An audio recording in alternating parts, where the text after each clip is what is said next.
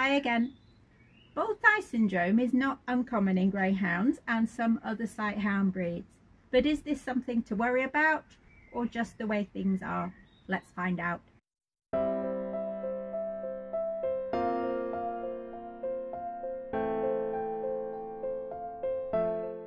Although it can look unsightly, bald thighs are not considered to be a health issue for sighthounds. There may be a genetic element to this, as the location of the bald patches can vary between the different breeds of dogs that are prone to it. In greyhounds, it tends to occur symmetrically on the outside of the thighs, as well as on the chest, the breastbone, and sometimes on the neck. Now, the cause is not fully understood, but it's not thought to link directly to hormonal changes or stress or overexcitement from racing, as greyhounds which grow up as pets can also be affected. I found some research published in 2019 where they found that greyhounds with bald thighs have defects in the hair structure.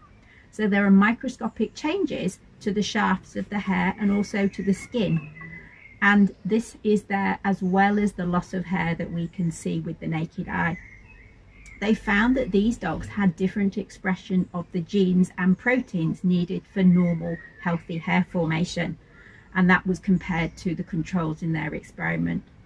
And this means that these dogs with the bald thighs were producing weaker hairs in those areas that were more easily damaged.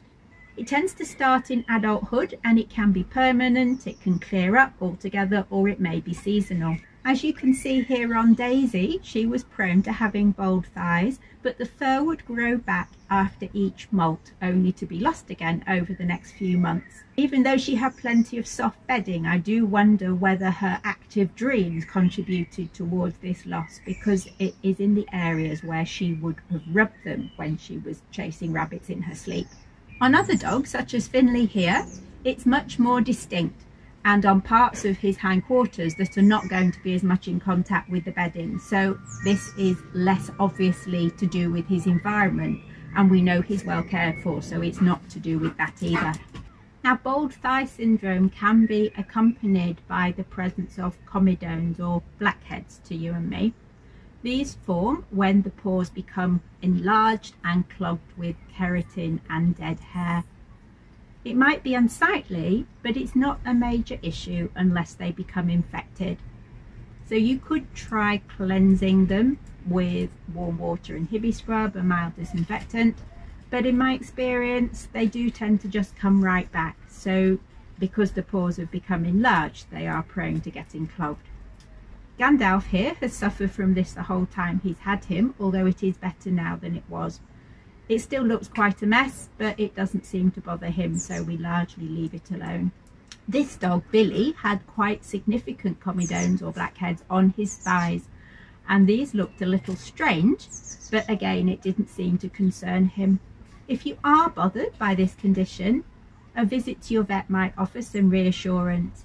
So they could check their thyroid, cortisol and sex hormone levels in case there is an underlying cause for concern that you might need to do something about, something that's beyond typical bald thigh syndrome. And of course, make sure that your dog's skin is free from mites, bacteria or fungus so they are overall healthy. And then it's just a case of admiring that bald bottom.